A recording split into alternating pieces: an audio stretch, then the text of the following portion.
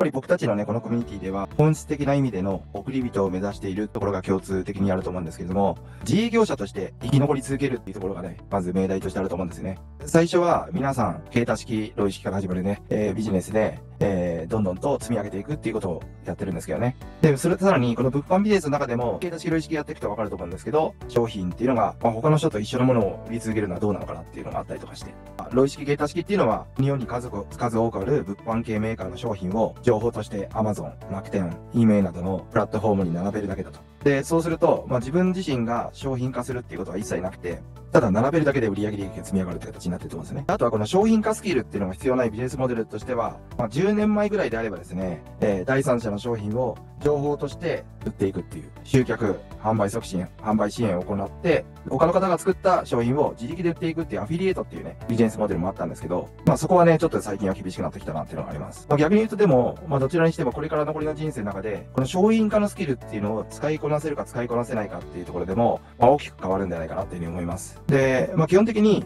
携帯式、ロイ式、さらにアフィリエイト、まあこれに共通してるのは、第三者がメーカーとして商品を提供してくれるメリットがあるんですけど、逆に言うとそれもデメリットに働く場合も、えー、出てくるっていうのありますよね。どんな商品を行うにしてもですね、モノサービス情報、やっぱりこの商品化スキルっていうところが分かっていると、えー、次のステージのこのビジネスのね、選択肢っていうところがね、増えていくんじゃないかな。で、逆にこの商品化のスキルが持ってないと、まあ、常に自分自身が第三者がメーカーとして作った商品、モノサービス情報を仕入れて販売したり、販売促進したりっていうね、まあ、そういうビジネスしか営むことが選択肢がなくなってしまうっていうところがありますよね。これで自営業者の活動をやっていく中で、自分で商品化した方が儲け続けられるっていうね、後期が目の前に訪れた時にどう動けるかっていうところが、次のステージとして考える必要があるんじゃないかなと。商品化できないと、まあそういう時にチャンスロスにつながってしまうんで、これはとてももったいないことじゃないかなっていうふうに思います。だから逆に言うと、今皆さん、携帯式、ロイ式とかの、この物販ビジネスでね、稼ぐことができている今のうちに、この商品化のスキルを習得して使いこなせるようになっていくっていうことも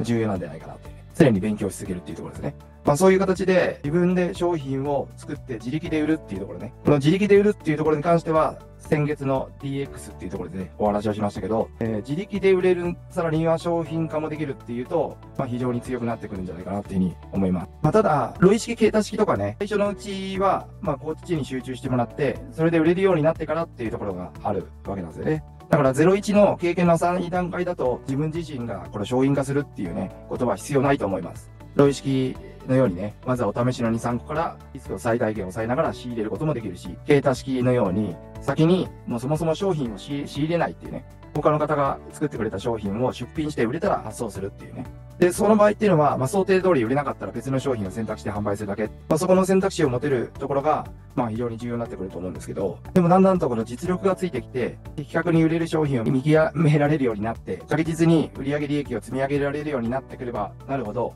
と感じ始めることがあるんですよ。まあ、それは、まあ、このライバルたちうざいなと。そもそも第三者がメーカーとして商品化している商品を取り扱っているっていうところでは、自分だけが独占販売っていう商品はただの一つもないんですよね。どんな商品でも自分と全く同じ商品を販売しているライバルたちも存在する。そうすると、こいつら全員値段安しできないかな、みたいな。そういう感じで思い始めるんですけれども、まあ、その時に自分だけの商品を販売したいっていうこの野心、野望、これを実現させるためには、やっぱりこの商品化スキルっていうのが必要になってくるんですね。で、商品化スキルって実は物販だけではなくて、サービスも、あとは情報も、ありとあらゆる商品を商品化することができる力なんですよ。もうな、なんかね、だんだんと見え方がね、関係なくなってくるんですよ。それが何だろうか。商品である限り、えー、何でも商品化できるっていうね、状態になってくるんですよね。まあ、インターネットを活用してビジネスを行うっていうところが僕たちにとってのね、まあ、命題になってくると思うんですよ。それはなぜかというと、リアル世界で店舗を作って、ね、家賃を払って人を置いて、で、電気、ガス、水道、光熱費払って、在庫を持ってみたいな形になってしまうと、まあ、非常に効率が悪いな。だそうすると、販売先っていうのはインターネットにね、特化する形になって、そこはまあ DX の方でもお話ししてたと思うんですけれども、その時に、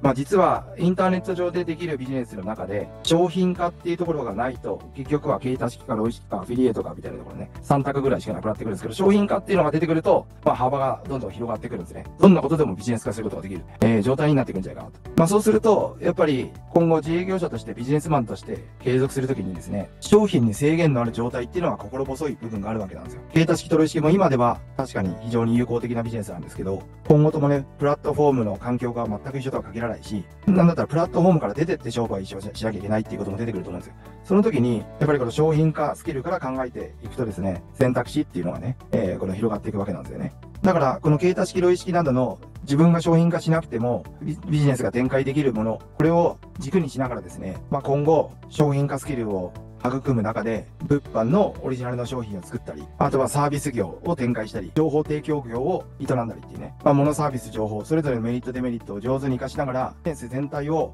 これを推進していくこともできるようになる。まあ、ここまでステップアップできて初めてですね、これから先の未来、どんなご時世になろうとも、ビジネスマンとして生き残り続けられる状態になれると言えるんではないかなっていうふうに思うんですよね。で、あとはやっぱり、じゃあビジネスでもっと稼ぎたいっていう、その最短の経路はやっぱり商品化にあるんです。僕がなんでこの自営業者として20年以上生き残れてたかっていうと、商品に困ることがないんですよね。どんな状態に陥っても商品化ができるわけだ。それは物販であろうが、サービスであろうが、情報であろうがっていうところですね。あとは、そのどのビジネスを行うかっていうのは、法律だったり優先順位だったりっていうところで、全く違う視点で考えて物事を進めることができるわけなんですね。皆さんにも今すぐ慣れっていうわけじゃなくて、今、この経済式ロイ式で稼げているうちに、商品化っていうのをね、え理解してもらいながらステップアップ狙っていってもらいたいなっていうふうに思います。